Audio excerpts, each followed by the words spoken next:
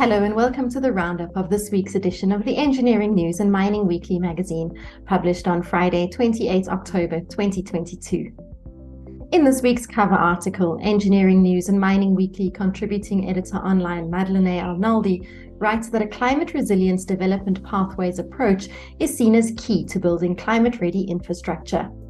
The efficacy of South Africa's climate change mitigation efforts largely depends on how resilience is embedded in infrastructure development and adaptation strategies overall, which the Presidential Climate Commission recognizes in its Just Transition Framework.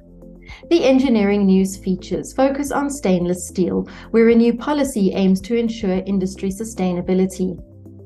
Embedded electricity solutions, where load shedding is impacting on embedded generation uptake and personal protective equipment, where quality components are used in local PPE manufacture.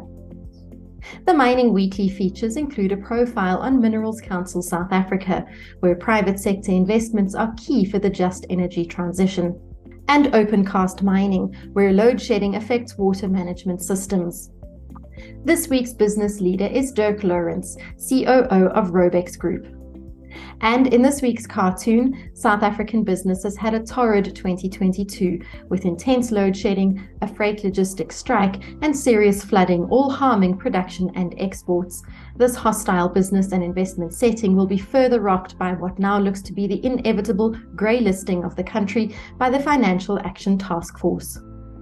We hope you enjoyed this week's edition of Creamer Media's Engineering News and Mining Weekly. Be sure to subscribe to the magazine that offers you in depth news about developments in the real economy by emailing subscriptions at engineeringnews.co.za.